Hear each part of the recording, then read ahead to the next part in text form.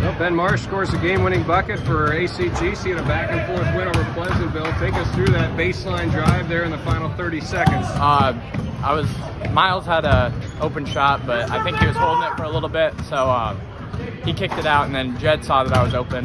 He had a good pass to me, and I saw a lane, so I drilled it.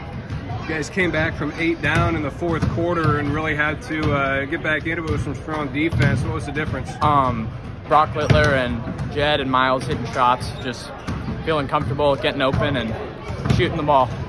Yeah, Jed finished with I think it was six threes. Pretty Yeah. impressive shooting from him. Huh? Yeah, it was a great night. Jed's been struggling early on in the season, but he's really finding his rhythm. He's doing great. You guys were up 14 at one point in the first half. You guys were rolling with the three pointers, but uh, what did they do that made it tough on you in that third quarter? Their defensive switches, they they made adjustments, really good adjustments, uh, playing the zone, um, and we struggled with that. So they just they ramped it up, and we couldn't hit shots then.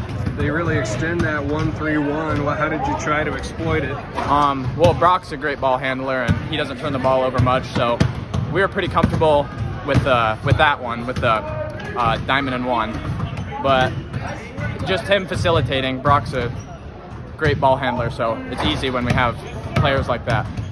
I know Coach Kading had talked about, you know, you guys are pretty similar to them record-wise and stats, but they've seen some good competition. yeah. So, Yeah, how quality of a win is this for you? I think it's a big win. Uh, they're a great team. They have to play Van Meter and DMC twice a year, so that's four four good teams right there. They have to play. They're they're a really good team. Um, they're they have a good young squad too. They're they're going to be good in a few years.